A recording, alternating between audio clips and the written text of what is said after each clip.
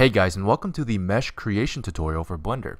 In this video we're going to go over how to create a mesh in the viewport. It's similar to adding objects but a little bit more specific and we'll go into the differences between a mesh and an object as well as the differences between a mesh and a surface for example because they do look very similar. So let's go ahead and get started. Uh, first of all the definition of a mesh is an object made up of polygons. So if we were to look at this cube here this cube is indeed a mesh because it has polygons here. We can go into edit mode by hitting tab and I'll go over edit mode in the next video but ultimately in edit mode you can see the individual vertices and the individual faces.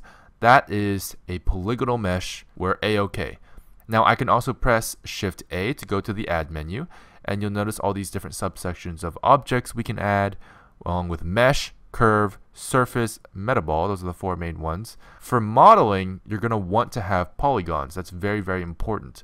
Most of the time, people model with meshes, not with curves or surfaces.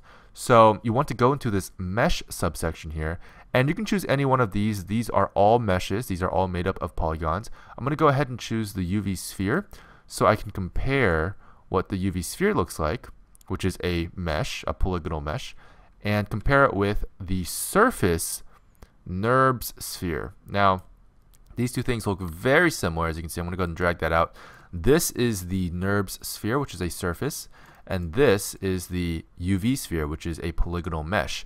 I'm going to go ahead and actually smooth the UV sphere as well because you can do that. I can just select the UV sphere here, go to the T tab and hit smooth under shading and you'll notice they actually look very similar now. So how do you tell these apart? Well, again, you can go into edit mode by hitting tab and you'll notice that this has a bunch of polygons and vertices and it corresponds to the shape of the object.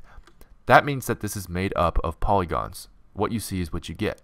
However, with surfaces, surfaces are by definition a mathematical representation of a shape. So in this case, the sphere it's not made up of polygons, but rather mathematical equations and formulas that form this perfect sphere and doesn't give you a lot of room to edit.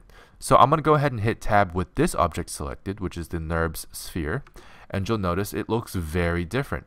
So this is not what you want. This does not allow for very much editing. It has very, very limited controls, but can be useful in some situations. However, if you're modeling, you don't want to use surfaces, you want to use meshes, like so. So that's mesh creation in Blender.